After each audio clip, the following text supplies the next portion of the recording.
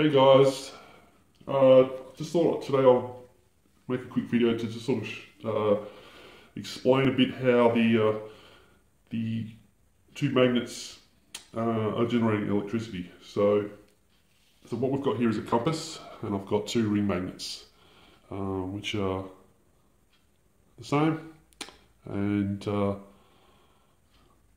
I thought these are similar to what's used in the um, the magnetic power generating unit. They are they are larger than these ones, but uh, these are these are the same, uh, just a smaller version. But what I wanted to, to demonstrate was here, um, just to show the compass here. As you can see, north is pointing to north. Okay, some people think that north points to the south side of a magnet, but north the north point of a compass points to the north side of a magnet. Okay, so don't be confused with uh, with what someone else might tell you about that. Okay, spin it around. That's the south side, north side. Okay, I'll spin it one way. Uh, this one here, south side, and spin it around, north side. Okay, so north side. I'll just move that across here a bit. I'm just going to bring the other one in, and so that's north as well. And I just want to make sure that we can I want to keep this in shot so people don't think I'm tricking camera here. North and north. Okay, if I turn around south, north, north, south, north. Alright, so what I'm about to do now is bring two north faces together, okay?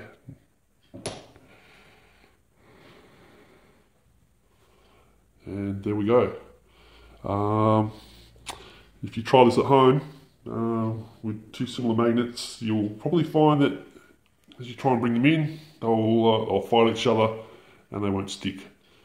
So um, what I've been able to do is alter the uh, alter the fields on the on the on the magnet to uh, to allow the norths to come together, um, but at the same time also allow the south side to come together.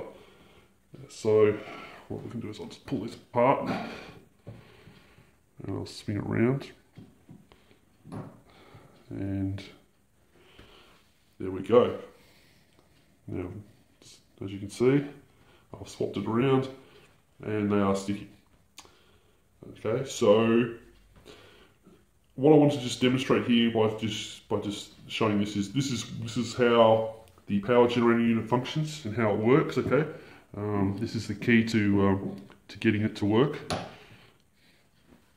Um, yeah, so basically, having them come together like this, you get a you get a vibration, and uh, it's similar to I guess if the, the easiest way to explain it, if I'm explaining to someone, is to say if you've got a magnet and uh, a coil, and you you know you wave the magnet on the coil, uh, it generates a current, and you can you know you can light something up, a, a light or, or power something.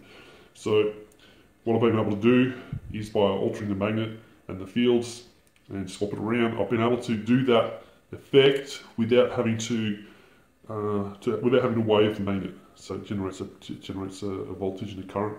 Um, so I just thought I'd uh, demonstrate this today, and uh, um, yeah, look forward to more more videos and uh, and uh, products coming soon from us. Thank you.